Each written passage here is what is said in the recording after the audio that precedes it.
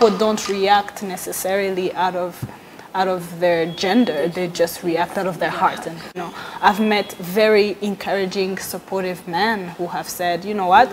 I'll push you forward. Um, friends like I, have had women who say you know what? We'll push you forward. Or like my former boss is one of my mentors today you know? Um, character some you know like i'm like like did you lie to me because you're a woman I, I don't think about it like that you know when someone is late i'm not like you're late because you're a woman. you know it's it's it's those But things then there are stereotypes as well. People assume that because you're a woman, you're supposed to act in a certain way. Yes, Or yes, you're supposed to be yes. in a certain way. You're not Yes. supposed to be too ambitious. Have somebody told you? oh yeah oh my god yes Too ambitious that you're a woman. oh that How has that happened be? oh my god that has happened um yes A so number of times.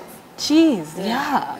Some people have said, you know, um, uh, last year and the year before, people said, you know, imagine we speaking up, and, and if he picks up too much, you'll scare men away, Away. and you'll never get married. And that's advice that sometimes even women give each other. They tell you that Girl, yeah, woman, you know. you with imagine me, you never Yeah, like to get a husband. you need to like sell it and forget about it. Like, why are you? Yes. Or, or you know, when one day I was telling my friend that you know I, I wanna.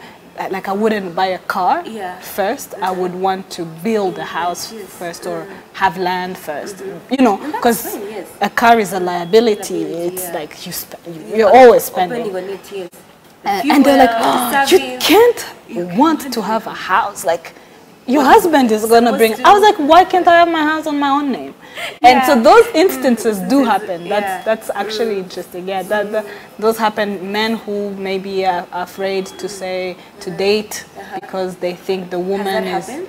Oh, yeah A number of times. a number of times like people are like uh, you're so you know you don't have to do this like if you do this you'll scare men away and mm. and o- obviously they're talking about themselves in third person. Yes, and then in the end you realize that oh oh you actually had taken me on a like was that a day it's very blurry you know?